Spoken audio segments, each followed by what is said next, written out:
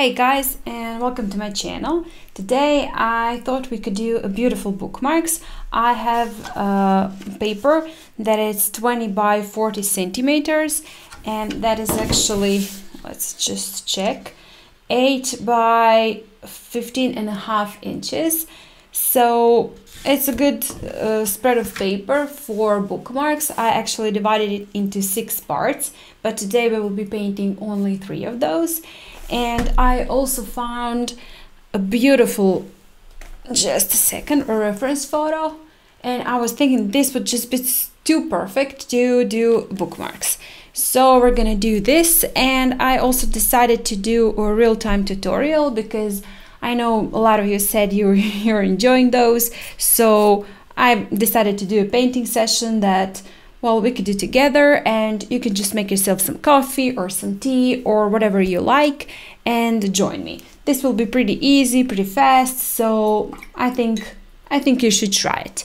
Okay, first we will start with pre-wetting our paper and all three bookmarks and uh, I don't think we are, uh, I don't think we're gonna paint them separately but just together as one painting and then later on divide it into three parts into bookmarks.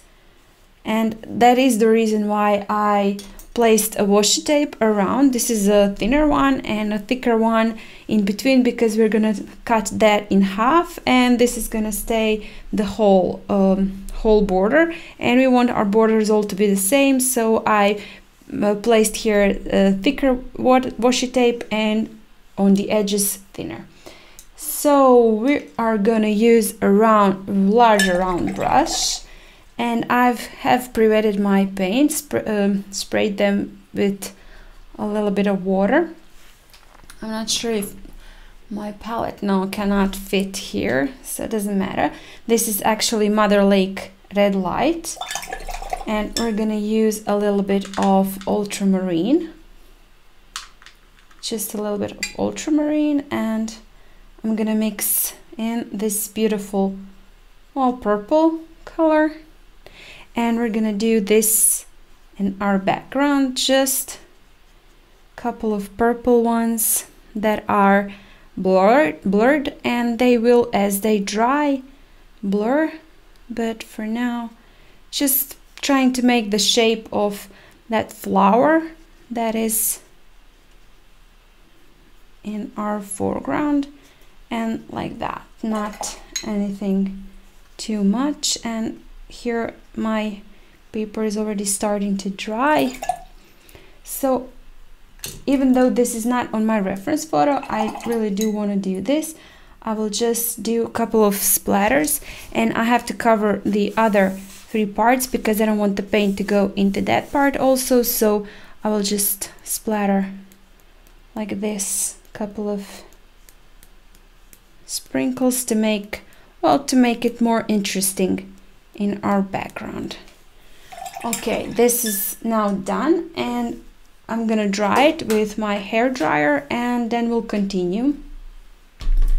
So this is now dry and there's just one thing guys I forgot to mention but before that I'm just gonna say that I will also again pre-wet it but this time I'm using just a little amount of water, not too much. I'm drying my brush on my jar and just going in with just a little bit of water, not not too much. We don't want our paper to be too wet. And yes, the thing I wanted to say is that all the materials I will be using today, paints, uh, paper, brushes, all will be mentioned down in the description box. Also together with the links for uh, Amazon for purchasing those uh, materials. And I wanted to tell you that those links are actually affiliate links of mine. So if you buy anything uh, using those links I will have I will uh, get a small commission. And that is not ex nothing extra charge to you but it will help me to well to fund finance myself and also of course these videos and materials I'm using. So I would be very very grateful if you would well if you're purchasing your materials of course anyway not to go out of your way or and to purchase anything you're you were not planning to buy. But if you were planning to buy new materials and new supplies and well want to buy those uh, i'm using well i would very much appreciate it if you would use my link and as i said uh, that i would get a small commission and well we were grateful. So now we're moving on. Uh, i dried the paper and pre-wet it again as i said and now i'm adding some more of this is only madder lake red light also just tapping in and since those flowers are uh, pointy and uh, vertical i'm just making the impression of those flowers also in our foreground. And well i'm just adding a little bit of Madder Lake red light. And these are also going to be blurred blurred so I'm not really painting them uh, precisely but just again tapping in and making the impressions of those flowers and right now we are going to add also some green. And that is going to be the leaves and greenery in our uh, in our flowers. And the greenery is just down here not actually too much up upper just in the lower part in the lower third. So we're gonna again add that greenery here and there and some maybe stems and I'm gonna use a little bit more of that greenery and just like that and this one. And there there will be uh, somewhere the paper will be um, more dry and summer will be more wet. Doesn't matter. That is all okay. And just at the bottom part also a little bit. And as you can see I'm using right now a smaller round brush because uh, that brush can of course pick up less uh, less water and it would spread a little bit less. And that's it. And now we're gonna do one more thing and I need to cover again this part. We're gonna sprinkle some clean water.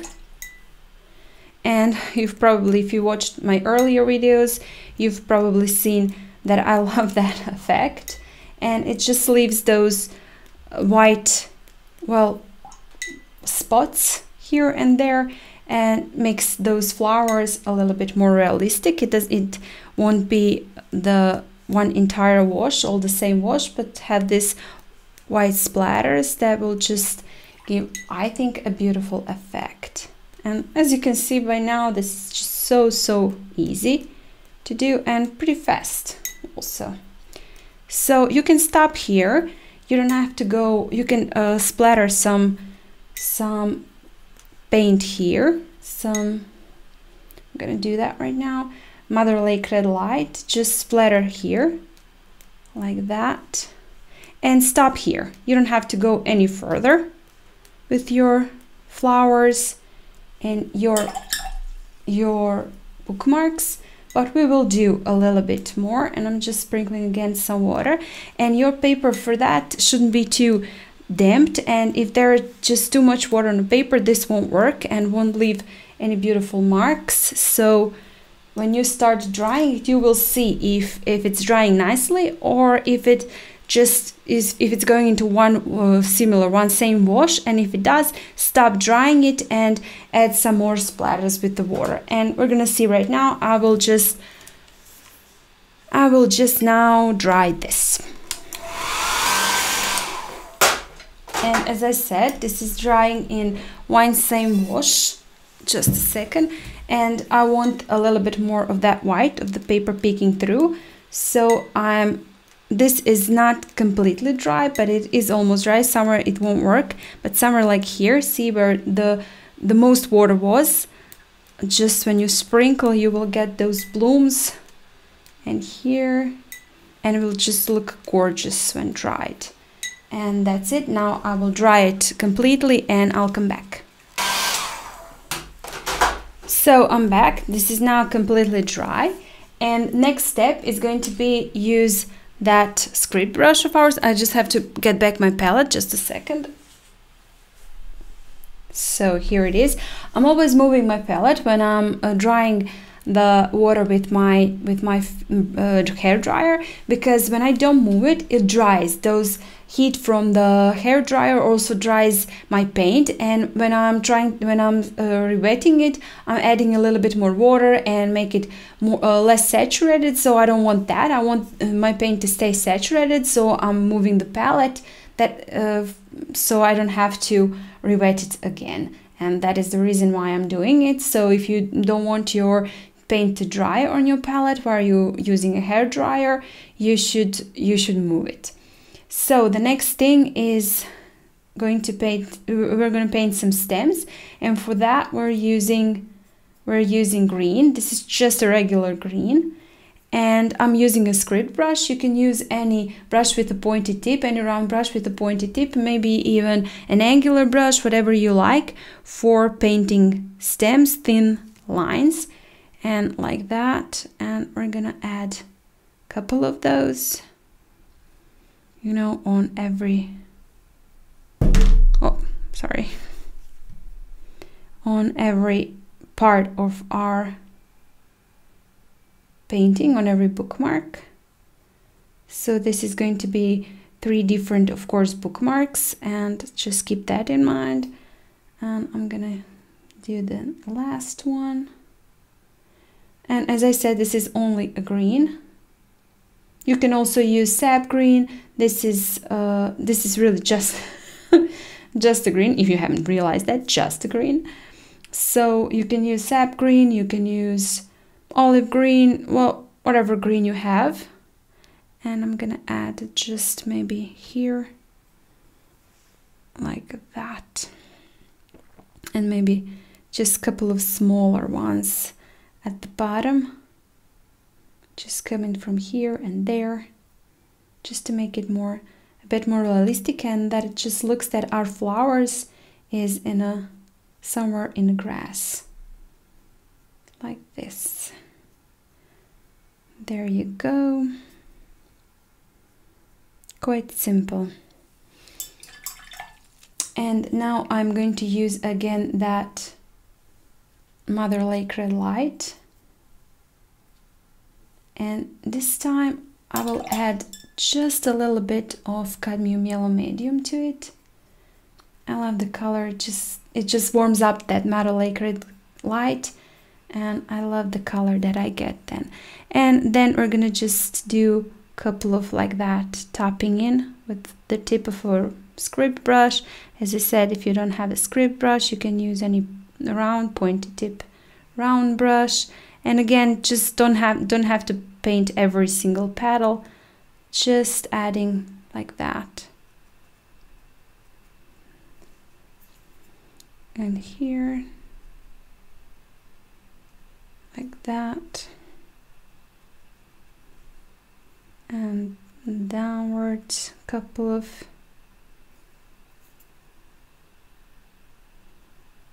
so this is really fun and I must say very relaxing, calming, you know, perfect painting for to calm yourself down. If you have well any troubles or whatever, just play some music and just do this. Sprinkling, splashing and well tapping in some color like this it's just always so relaxing to me. I, I love doing it and you can add as you see a little bit more saturated paint. So to, to make it look like there's there are some shadows also. And this one is going up upwards. You know and you can see I'm not really doing anything precise just tapping in you know here and there. And downwards. Maybe some some could be down here also. Some flowers. And I'm gonna add a little bit more darker paint here so it looks like again some shadows. And like this. Maybe some sticking here you know from the side of our bookmark and some here. And this one needs a little bit more. So you just look at yours and do your flowers wherever you think that they're necessary. They will look nice and add a little bit more shadows or highlights where you think they would be welcome. They will look nice and of course what would this be without a little bit more sprinkling? And we'll do that in just a second. I just want to add finish all of my flowers so I don't have to add any anymore. Like this and maybe again some like that and maybe even here why not?